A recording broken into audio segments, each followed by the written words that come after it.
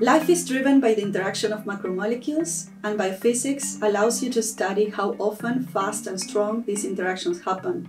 TSPC is the sample preparation and characterization facility.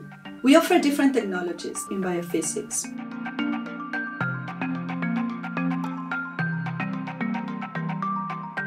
SPC is part of different transnational access programs that allow users to access our infrastructure.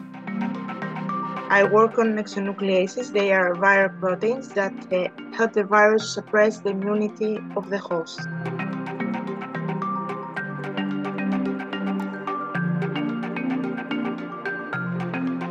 The SPC facility has an automated platform for crystallization experiments, very good when you have tricky samples. Our samples could be measured immediately because the facility managed to have the samples in front of the beam line the next day. I work in a membrane protein complex that helps bacteria adjust to the environment. This can be exploited to develop new antibiotics. With the results we obtained from the SPC facility, we could improve our samples for our cryo-EM experiment. The detergent screen here was much more efficient than the one I was doing at my home lab. SARS-CoV-2 methyltransferases are extremely important for the viral replication cycles because they protect viral RNA from RNA degradation. We observed that those molecules may interact, and a mass photometry experiment at SPC gave a very direct proof of that. Once we know that those proteins make an interface, we can design drugs that stops them from interacting with each other, leading the virus to be less active or not active at all the sample preparation facilities that usually only offer you a wet lab.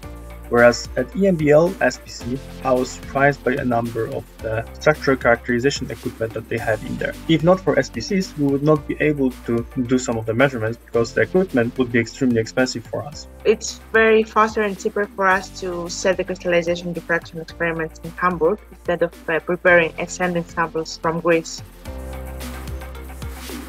What made the difference for me is that you can use the SPC facility remotely and just send your samples and you will get your results very fast. We also help with data analysis and we developed eSPC, that is an online data analysis platform where users can analyze their data for free from home eSPC was a great time saver as it allows me to download the final results and then uh, visualize it. Also, the interaction with the software developer were extremely good because whenever I were looking for a feature that was not in there, it was implemented within a week. I think that the most important thing is the communication with the SPC facility staff. The working atmosphere was always very good. They would also really give me their opinions, what they think that would work and what not. I used the knowledge of these people, and then the diffraction experiments were very easy. I would definitely recommend the SPC facilities